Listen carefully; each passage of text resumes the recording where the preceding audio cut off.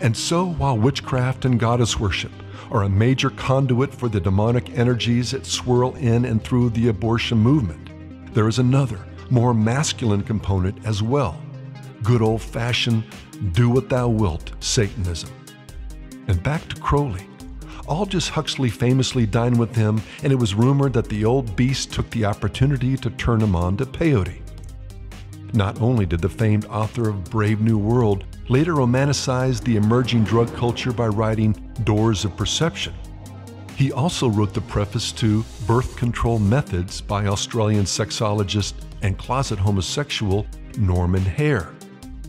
A colleague of Ellis and Hirschfield's and an attendee of the World Sex Congress in 1921, Haire, like the others, was a staunch supporter of gay rights and the eugenics movement. But even more interesting and significant is Crowley's connection to perhaps the 20th century's most influential sexologist, Alfred Kinsey. Founder of the Institute for Research in Sex, Gender, and Reproduction at Indiana University, now called the Kinsey Institute. Kinsey, like his European counterparts, set out to normalize all manner of deviant sexuality under the guise of objective science. Bisexual and with a penchant for masochism, Kinsey encouraged group sex among his graduate students and filmed sex acts in the attic of his home under the guise of research. Toward the end of his life, Kinsey, along with avant garde filmmaker and Crowley disciple Kenneth Anger, visited the great beast at his lair at the Thelema Abbey in Sicily. Anger later observed Kinsey was obsessed with obtaining the great beast's day to day sex diaries.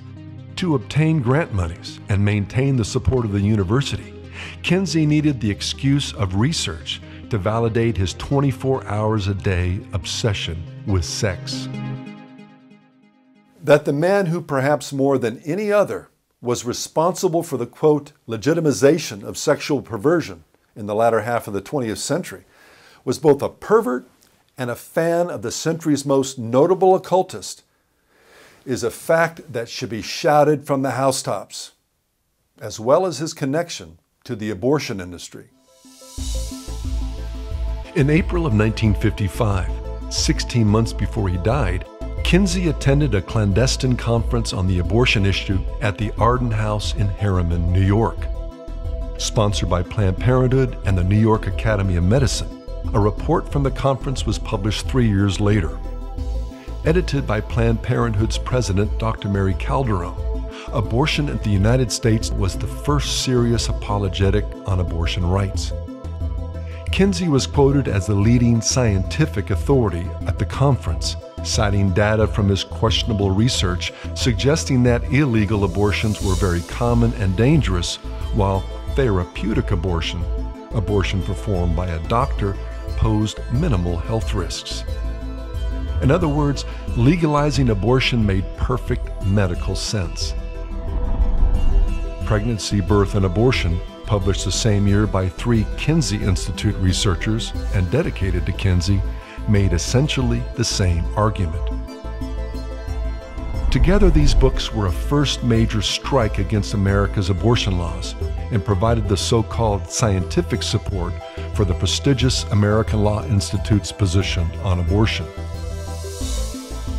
Codified in their 1959 draft of the Model Penal Code, the proposed law allowed for elective abortions in case of rape, incest, fetal deformity, and threats to the mother's physical or mental health. Regarding rape and incest, some people make an exception for that, but if we really believe that a human life begins at the moment of conception, then how can we say that someone who was conceived by virtue of somebody else's sin is less worthy of life than somebody who is conceived in any other way? It's not the child's fault with regards to rape and incest. And we don't undo one tragedy by compounding it with a greater tragedy. Death never overcomes adversity, life always triumphs. From a personal perspective as well, my own family has experienced both rape and incest, where my father raped my sister. And it's obviously a tragic experience for anyone, certainly when it happens in a family member or when it happens to anybody. But rather than choose death, she chose life. And as a result, my niece was born and my niece grew up and she was married and she gave birth to another daughter and both of them have now graduated from high school. So I have two generations that have come from a tragedy. I could never look at my nieces and say that it would be better for you to have been killed for something that you didn't do. And neither would my sister ever reconsider that decision to choose life. When you choose life, that's always the right choice. Well, most people think of Roe v. Wade because that was the first decision.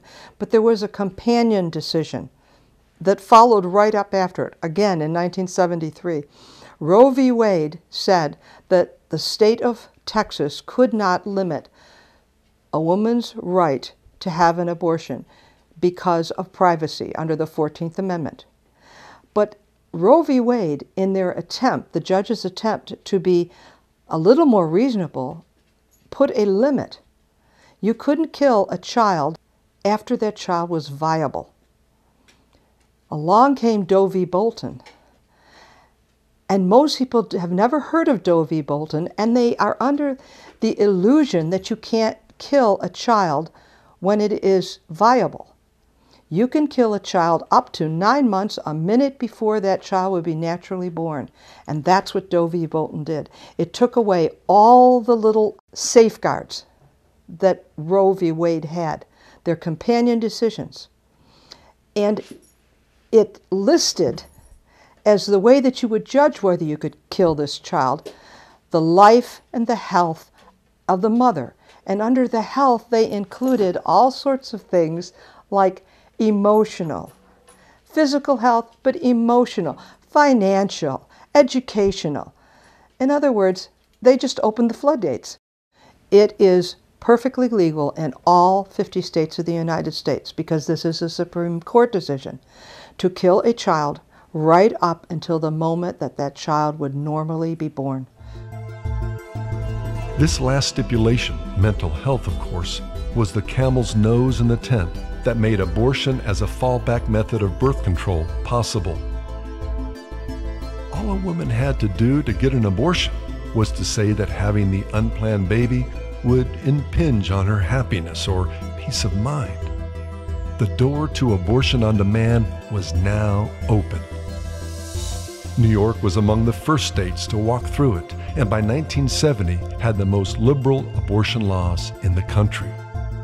The Supreme Court forced the rest of the United States to follow in 1973, citing the ALI's model penal code in its infamous Roe v. Wade decision.